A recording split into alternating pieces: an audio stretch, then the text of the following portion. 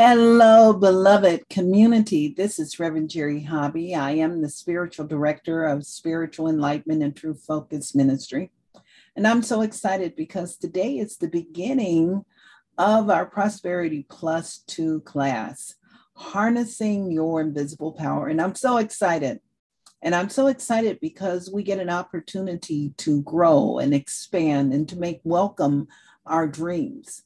Sometimes we have dreams, but our dreams may not be made welcome. And the reason they may not be what made welcome is because maybe perhaps shifts and changes need to be taking place in our lives in order for those dreams to come true. So, over the next 10 weeks, we're going to make our dreams welcome. We're going to work with our belief system. We're going to work with releasing stuff from the past that may have been blocking us from realizing the dreams that we so desire.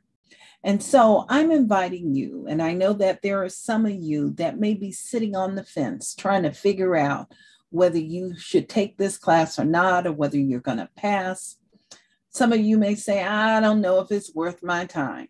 But what I want you to know is this is an investment within yourself.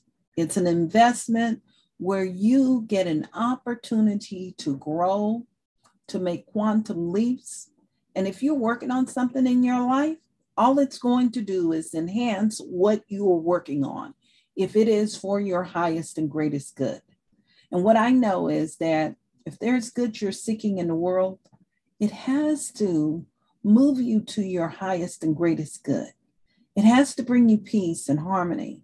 It must bring you a sense of satisfaction.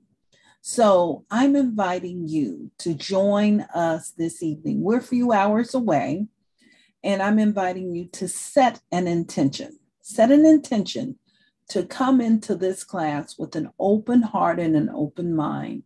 Um, you can preview it tonight. And if you think it works for you, you can continue to come back again and again. And if it's not, then that's perfectly fine also. So I look forward to seeing you this evening.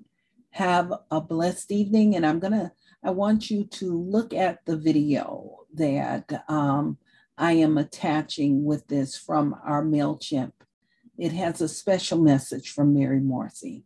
Peace and blessings. Namaste.